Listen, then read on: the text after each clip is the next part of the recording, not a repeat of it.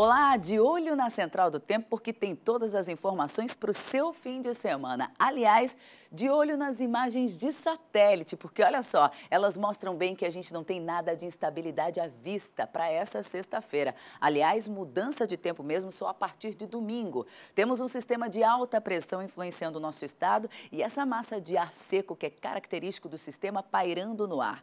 Por isso que segue assim, dia com solzão, tempo firme, quase nada de nuvens. Teve um pouco de nebulosidade pela manhã nas regiões litorâneas, mas isso já mudou, tá? Com relação às temperaturas, atenção, elas estão bem altas hoje. 32 é a máxima prevista para a capital, mas temos aí média de 34 para Criciúma, Blumenau, Joinville, Joaçaba e Chapecó.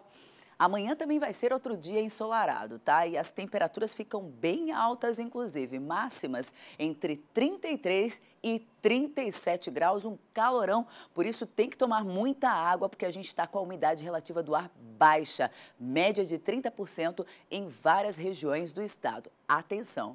Por hoje é isso e acompanhe informações atualizadas sempre na Central do Tempo. É só baixar o aplicativo ND+. E lá, além de curtir e comentar, você pode inclusive interagir mandando sua foto ou vídeo de um lugar bacana onde você passou. Vai para a praia no fim de semana? Manda foto pra gente. Tchau, tchau!